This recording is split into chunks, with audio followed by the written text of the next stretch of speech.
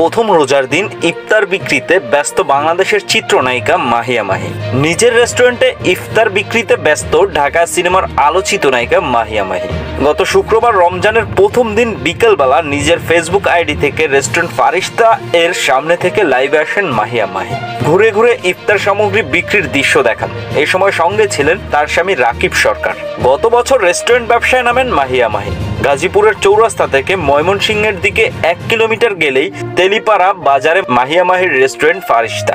গত বছরও মাহিকে উপস্থিত থেকে ইফতারি সামগ্রী বিক্রি তদারকি করতে দেখা গিয়েছিল। রেস্টুরেন্টের সামনে ফেসবুক লাইভে এসে মাহি ইফতার সামগ্রী বিক্রি দেখান। বিভিন্ন সামগ্রীর বর্ণনা দেন। এক পর্যায়ে স্বামী রাকিব সরকারকে উদ্দেশ্য করে বলেন, এবার তুমি কিছু বলো। রমজানের শুভেচ্ছা জানিয়ে রাকিব সরকার বলেন, গত বছরের মতো এবছরও আমরা ইফতার সামগ্রী নিয়ে এসেছি। ফারিস্তায় আছে সব সুস্বাদু এবং মানসম্মত খাবার। আপনারা সবাই আসুন। গত সপ্তাহে ডিজিটাল নিরাপত্তার আইনে মামলায় গ্রেপ্তার হয়েছিলেন মাহিয়া মাহি। যদিও গ্রেপ্তারের দিনই জামিন পেয়েছেন। সামাজিক যোগাযোগ মাধ্যমের মিথ্যা ও বানোয়াট প্রচারণায় পুলিশের ভাবমূর্তি ক্ষুণ্ণ করার অভিযোগে ডিজিটাল নিরাপত্তার আইনে মামলাটি করা হয়। বাসন থানার উপ পুলিশ পরিদর্শক এস আই রোকন মিয়া বাদী হয়ে মাহি ও তার স্বামীকে আসামি করে এ মামলা করেন।